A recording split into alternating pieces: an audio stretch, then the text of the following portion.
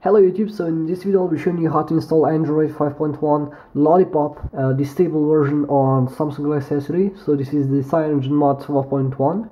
This is the stable one and the last one wasn't that good.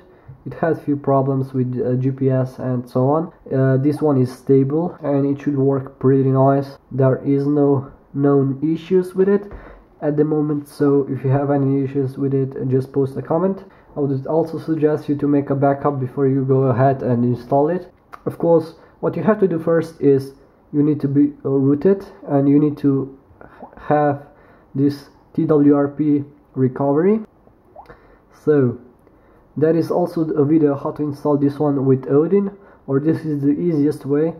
If you go ahead on Google Play and install the TWRP manager and you press on this little button and you press install TWRP and you have to choose this device name. So what device do you have? Of course we're going to choose Samsung Galaxy S3 i9300 and recovery installed. This is the one that I have at the moment. So what you have to do is press recovery version to install. You have to pick the latest one. And then you have to press install recovery. And it should say downloading.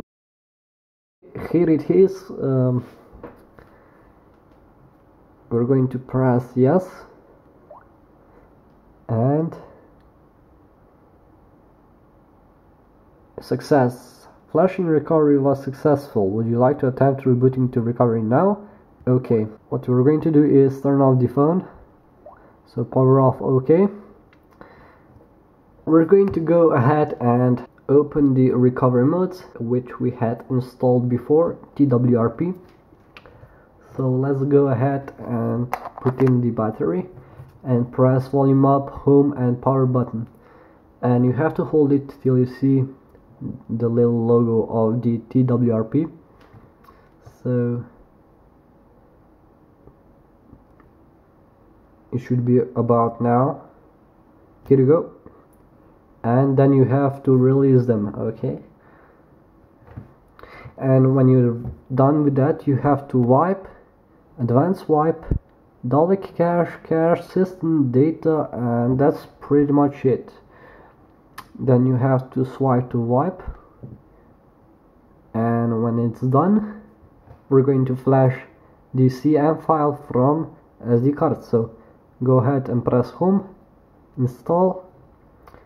And you have to find the file from SD card. So up level external SD and where is it? CM 12.1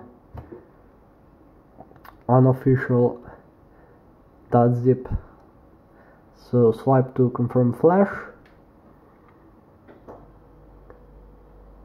And it should take about a few minutes so I'm going to leave it here. After it's done installing you have to wipe cache on Dalvik. Dalvik. So swipe to wipe. And then you have to go back to home. And we're going to install GApps GApps so this is Google Apps which you have to also download. So swipe to confirm flash. And then you can reboot system so here you go. It should take a couple of minutes because it's first boot so don't worry. And here you go. The setup screen is ready so you can skip that.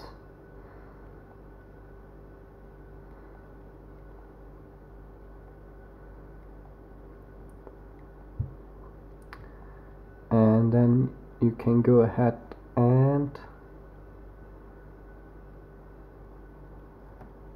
set up your phone.